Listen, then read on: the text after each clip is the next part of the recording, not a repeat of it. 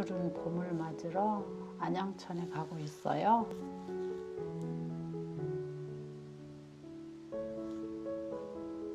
늘어진 가지에 벚꽃 밑으로 걸어갈 수 있도록 데크길을 긴급 만드네요. 여기 조금 쭉 걸어가면 도림천역이거든요. 와, 가까운 거리 멋진 벚꽃 가지가 쫙 드리워진 데거든요. 아래서 바라본 전경인데 여기도 경치가 끝내주거든요. 안양천의 휴일이라 그런지 사람들이 많이 나왔어요.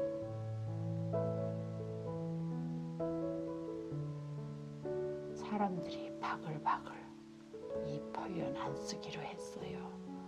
다 귀하신. 참 새들이 무리 지어 놉니다. 색깔이 같아서 잘 안 보여요. 나무하고 오리 새끼들이 각자 자유롭게 놀고 있네요. 사람도 이렇게 자유로웠으면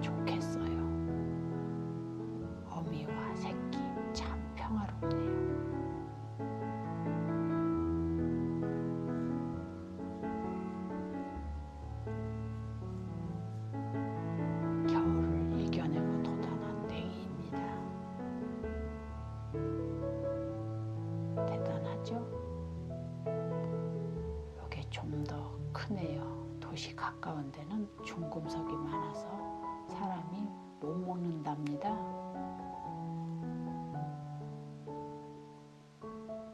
힘 빠진 억새 풀들 가을 분위기가 납니다.